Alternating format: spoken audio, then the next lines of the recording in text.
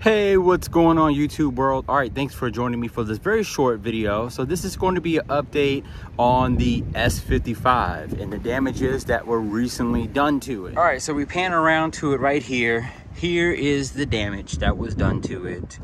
Um, yeah, got a big dent right here now, but luckily it's black, so you don't really see too much uh, with the damages on it. I took some uh, lacquer thinner and removed some of the marks.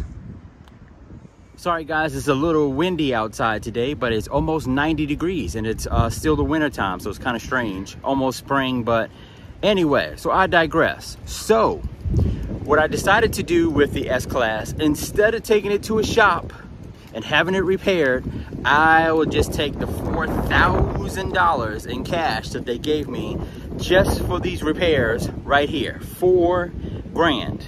So I'm gonna actually just buy a bumper on eBay, a used one. They'll go about $300. And then I'm gonna buy a tail light, which is another 250 bucks for that and put it on myself. So I think that's gonna be in an upcoming video of exactly how to do that procedure, but I have to learn how to do that first online because you know this information is very scarce and hard to come by.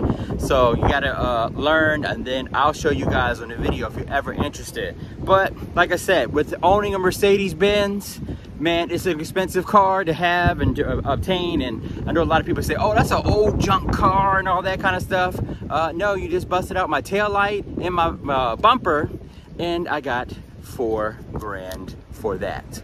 So, yeah. All right, so thank you for joining me for this video and I'll give you guys an update. What I'm actually thinking about doing is actually repairing the car and also buying a S600, which is a 2003 or 2004 model with the twin turbos with this cash also.